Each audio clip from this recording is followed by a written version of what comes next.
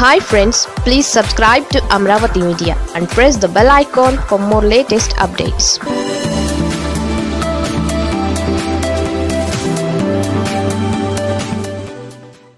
Pattabhi వ్యాఖ్యలు చంద్రబాబు వ్యూహంలో భాగమేనా?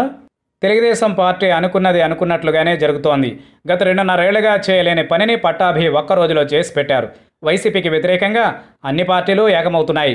చంద్రబాబు కోరుకున్నది అదే జరుగుతుంది అదే.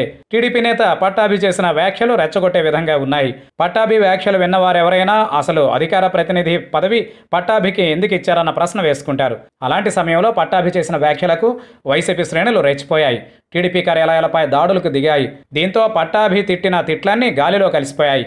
వైసీపీ దాడులు మాత్రమే కనిపిస్తున్నాయి. నిజానికి పట్టాభి ముఖ్యమంత్రి జగన్పై ఆ వ్యాఖ్యలు చేయకుంటే ఈ పరిస్థితి తలెత్తేది కాదు. కానీ దానిని వదిలేసి కాంగ్రెస్ నుంచి వామపక్షాల వరకు టీడీపీకి అండగా నిలిచాయి. ప్రజాస్వామ్యంపై దాడిగా అభివర్ణించాయి. జనసేన అధినేత పవన్ కళ్యాణ్ సైతం టీడీపీ కార్యాలయాలపై జరిగిన దాడులను ఖండించారు.